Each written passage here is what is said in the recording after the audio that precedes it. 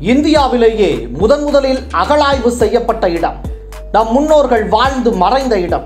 இங்கிலீஷ்காரன் தான் கண்டுபிடிச்சு சொன்னா உலகத்தின் மூத்த குடி இங்கே உறங்கிக் கொண்டிருக்கிறது என்று.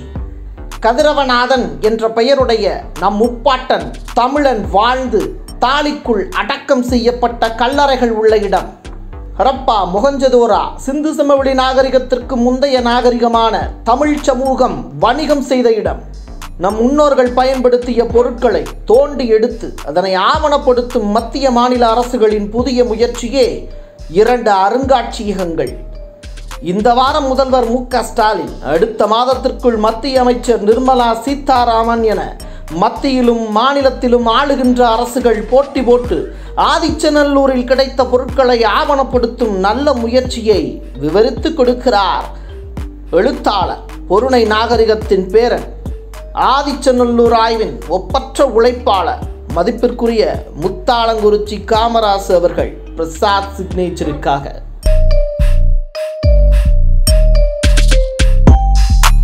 வணக்கம். நான் எழுத்தாளர் முத்தாலங்குறிச்சி காமராசு.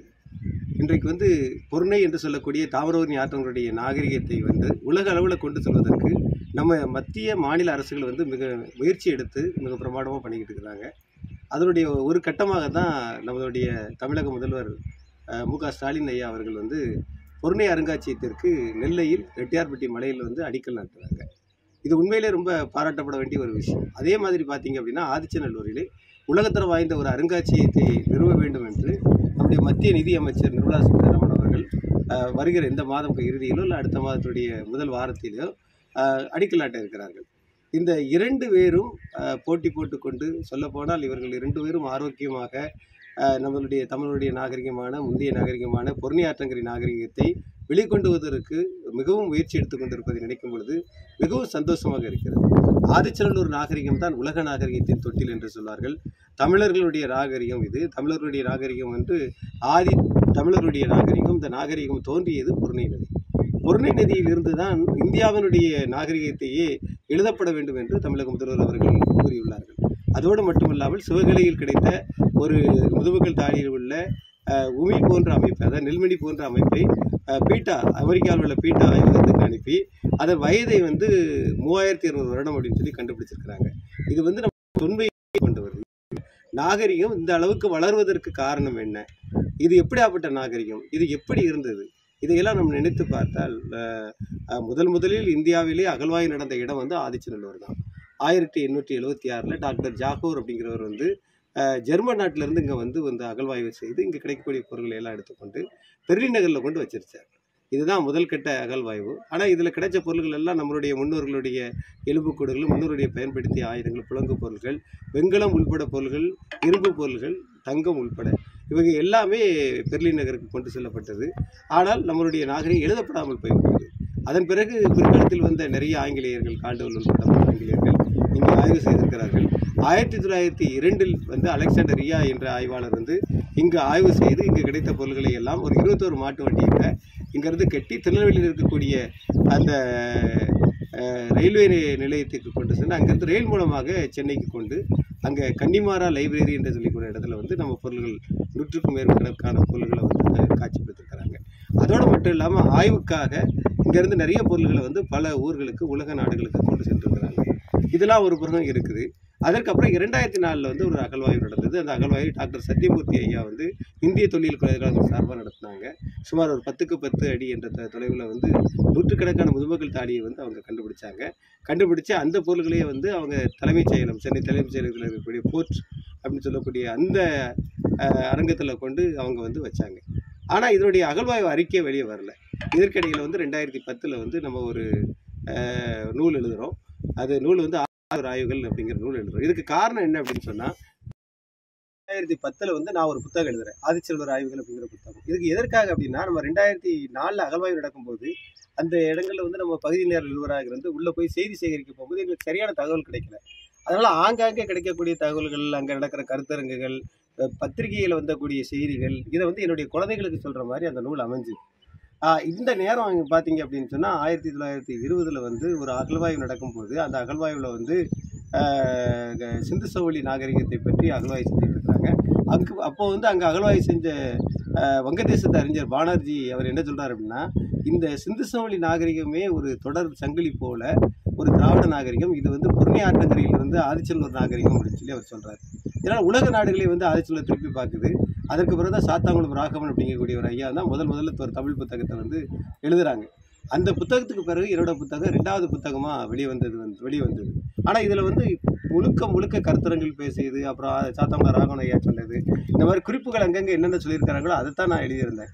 எனக்கு என்ன அப்படின்னா இந்த ரெண்டாயிரத்தி நாலில் உள்ள அகழ்வாய்வு அறிக்கை வந்தால் ரொம்ப நல்லா இருக்கும் அப்படின்னு சொல்லி நினச்சிக்கிட்டு அதுக்காக முயற்சி பண்ணிக்கிட்டு இருக்கும்போது தான் ஒரு நாள் பார்த்தீங்க அப்படின்னு சொன்னால் திறத்தந்தி அப்படிங்கக்கூடிய பத்திரிகையில் வந்து மண்மூடிய கீழடி மண்மூடிய மகத்தான நாகரிகம் அப்படின்னு சொல்லி ஐயா அமுதன் அவர்கள் எழுதிய ஒரு தொடர் வரி வந்துக்கிட்டு இருந்தது. அந்த தொடருக்காக என்னை பார்க்க வந்திருந்தாங்க. அப்போது நான் எல்லாருமே யார் வந்தாலுமே ஆதிச்சல்லூரில் ஒரு முதுமக்கள் தாலி இருக்கும். அந்த தாலி கூட நானே உட்கார்ந்து அந்த அவங்களுக்கு வந்து விளக்கம் அளிக்கிறத வழக்கமாக பண்ணிருந்தேன் அதே மாதிரி இவருக்கு சொல்லும்போது இவர் வந்து ஆதிச்சல்லூரின் புகழ்பாடிய பெருமக்கள் அப்படின்னு சொல்லி என்னுடைய புகைப்படத்தையும் போட்டு இந்தியா முழுவதும் அஹ், எங்கெல்லாம் திறத்தந்தி போகுதோ அங்கே எல்லாமே என்னுடைய புகைப்படத்துடன் இந்த செய்தியை வெளியிட்டிருந்தாங்க. அப்போ தான் எனக்கு மனசுக்கு ஒரு மாதிரி இருந்தது. என்னடா ஆதிச்சல்லூருடைய புகழ்பாடிய பெருமக்கள் அப்படிங்கிறாங்க. ஆனால் ஆதிச்சல்லூரில் ரெண்டாயிரத்தி நாலில் நடந்த அந்த அகழ்வாய்வு அறிக்கை கூட வரலையே அப்படின்னு சொல்லி ரொம்ப வருத்தப்பட்டுக்கிட்டு இருக்கும்போது தான் என்னுடைய நண்பர் மதுரை உயர்நீதிமன்றத்தில் இருக்கக்கூடிய வழக்கறிஞர் டாக்டர் அழகுமணி அப்படிங்கிறவங்க வந்து என்னை சந்திச்சாங்க. நாங்கள் இரண்டு பேரும் சேர்ந்து வழக்கு தொடர்ந்தோம். அந்த வழக்கில் தான் ரெண்டாயிரத்தி பதினேழில் அந்த வழக்கு தொடரப்பட்டது. அந்த வழக்கில் வந்து ரெண்டாயிரத்தி நாலில் உள்ள அகழ்வாய்வு அறிக்கை வேணும். எங்களுக்கு இங்கே ஆதிச்சல்லூரில் மீண்டும் அகழ்வாய்வு பண்ணணும். ஆதிச்சல்லூரில் வந்து உலகத்தர வாய்ந்த அருங்காட்சியகம் நமக்கு அமையணும் அப்படின்னு சொல்லியும் அதுபோக இங்கே இருக்கக்கூடிய சுற்றி இருக்கக்கூடிய இரும்பு கம்பிகள் வந்து பல அது சரியாக அமைக்கப்படாமல் இருந்துச்சு. அதை முழுமையாக அமைக்க வேண்டும். இன்னொரு கோரிக்கையை நம்ம வச்சோம். அந்த சிவகலை அப்படிங்கிற ஒரு இடத்துல அந்த பகுதியில் இருக்கக்கூடிய ஒரு ஆசிரியர் மாணிக்கம் என்பவர் வந்து நிறைய சிவகலைக்கு ஆய்வுப்படம் ஆய்வுப்படம் நிறைய பெட்டிஷன் போட்டு அங்கே இருக்கக்கூடிய பொருள்களெல்லாம் அங்கே பக்கத்தில் இருக்கக்கூடிய கேஜிஎஸ் பள்ளியில் சேகரித்து வச்சுக்கிட்டு இருந்தார். அந்த இடத்துல அகழ்வாய்ப்படணும்னு சொல்லி நம்ம ஒரு பெட்டிஷன் போட்டோம். அந்த பொது பொதுநல வழக்கும் நடந்துக்கிட்டு இருந்துச்சு. கொற்கையிலே அகழ்வாய்வு பண்ணணும் அப்படின்னு சொல்லி வழக்கு போட்டோம். இதோடு மட்டும் இல்லாமல் நம்மளுடைய கர்நாடக மாநிலத்தில் வந்து நம்மளுடைய அறுபதாயிரம் கல்வெட்டு படிகள் அது இருக்குது. அதை பத்திரமா மீட்டு வந்து நம்ம நாட்டுக்கு கொண்டு வரணும் அப்படின்னு சொல்லி வழக்கு போட்டோம் இந்த எல்லா கோரிக்கையுமே நிறைவேறிச்சு. மிக சந்தோஷமான ஒரு விஷயமா இருந்தது. ரெண்டாயிரத்தி நாலில் உள்ள அந்த அகழ்வாய்வு அறிக்கையை வந்து சத்திய பாமா என்ற அந்த சத்தியமூர்த்தி ஐயாவுக்கு பின் வந்த ஆய்வாளர் வந்து வெளியிட்டாங்க. அதோடு மட்டும் இல்லாமல் மீண்டும் நமது மாநில அரசு வந்து ஆதிச்சநல்லூரில் ரெண்டு கட்ட அகழ்வாய்வும் சிவகலையில் ஒரு மூணு கட்ட அகழ்வாய்வும் கொற்கையில் ஒரு கட்ட அகழ்வாய்வும் இப்போ கொற்கையில் வந்து கடல்சார் ஆய்வு அப்படின்னு சொல்லி தூத்துக்குடியிலேருந்து ஒரு ஆய்வும் செஞ்சுக்கிட்டு இருக்கிறாங்க. அதோடு மட்டும் இல்லாமல் நம்மளுடைய இந்திய அரசாங்கம் மத்திய அரசாங்கம் அவங்க என்ன பண்ணாங்க அப்படின்னு சொன்னால் அவருடைய நிதியமைச்சர் நிர்மலா சீதாராமன் வந்து உலகத்தரம் வாய்ந்த ஒரு அருங்காட்சியகம் ஆதித்யநல்லூரில் அமைக்கப்படும் அப்படின்னு சொல்லி அதற்கான ஏற்பாடுகளை பண்ணாங்க. அப்போ வந்து நம்மளுடைய மாவட்ட ஆட்சித்தலைவர் செந்தில்ராஜ் ஐயா அவர்கள் இங்கே இருந்த ஸ்ரீகுண்ட தாசில்தார் கோபால கிருஷ்ணன் ஐயாவோடையும் இங்கே இருக்கக்கூடிய எல்லா நண்பர்களோடையும் இங்கே சேர்ந்து ஊர் மக்கள்கிட்ட இருந்து ஒரு அஞ்சரை ஏக்கர் இடத்த வந்து வாங்கி கொடுத்தாங்க. அதனால் இந்த உலகத்தர வாய்ந்த அருங்காட்சியகம் அமைப்பதற்கு பணி மிக வேகமாக நடந்தது. இந்த பணிகளை எல்லாம் திருச்சி மண்டல தொல்லியல் இயக்குனர் அருள்ராஜ் அவர்களுடைய தலைமையில் உதவி இயக்குனராக இருக்கக்கூடிய யதீஷ்குமார் மற்றும் அவருடைய வே- ந- நண்பர்கள் எல்லாம் சேர்ந்து அந்த பணியை மிக செம்மையாக செஞ்சுக்கிட்டு இருந்தாங்க. இது மிக சந்தோஷமாக கொடுத்தது. ஏன்னா ஒரு வழக்கு. அந்த வழக்கில் வந்து எல்லாருமே நமக்கு வந்து கிடைச்சதுன்னா பெரிய ஒரு சந்தோஷமான ஒரு விஷயம். அதோடு மட்டும் இல்லாமல் மத் மாநில அரசு வந்து கிடைத்த அதாவது ஆதிச்சந்தூரில் கிடைத்த ரெண்டு கட்ட அகழ்வாய்வு சிவகலையில் கிடைத்த மூணு கட்ட அகழ்வாய்வு அதோடு மற்றும் குறுக்கையில் கிடைத்த பொருட்கள் இது எல்லாத்தையும் சேர்த்து நம்முடைய தமிழக முதல்வர் வந்து பாளையங்கோட்டை அருகே உள்ள ரெட்டியார்பட்டி மலையில் ஒரு பொருணை அருங்காட்சியகம் அப்படின்னு சொல்லி அருங்காட்சியகம் வந்து அதில் கொண்டு எல்லா பொருட்களையும் வைப்பதற்கான ஏற்பாடுகளையும் பண்ணி அந்த ஏற்பாடின்படியாக அடிக்கல் நாட்டுவதற்கான அனைத்து ஏற்பாடுகள் நடந்திருக்கு. அதே மாதிரி நிர்மலா சீதாராமன் அவர்கள் வருகிற மாதத்தோ கடைசியோ அல்லது அடுத்த மாதத்திற்கு முதல் வாரத்திலோ அஹ், அடிக்கல் இடுவதற்கு நேரில் வருவதாக இருக்கிறார்கள். உண்மையிலே வந்து தமிழர்களுக்கு வந்து இது பொற்காலம் என்றே சொல்லலாம். ஏனென்றால் உலக நாகரிகத்தின் தொட்டில் என்று சொல்லக்கூடிய இந்த ஆதிச்சநல்லூருடைய நாகரிகம் வந்து முன்னக்கூட்டி போய்கிட்டே இருக்குது எனக்கு கேட்டால் அந்த பகுதியில் தான் பெருங்கற்கால கருவிகளை வந்து ஃப்ரூட் ராபர்ட் ஃப்ரூட் அப்படிங்கக்கூடிய ஒரு அறிஞர் வந்து சாகர்புரம் பகுதியில் தேரிக்காட்டில் இருந்து நான் இருக்கக்கூடிய சேதிங்களூர் வரைக்கும் தேண்டபோது அதில் ஒரு 72 ரெண்டு க நுண்கற்கால கருவிகளை வந்து எடுத்திருக்காரு.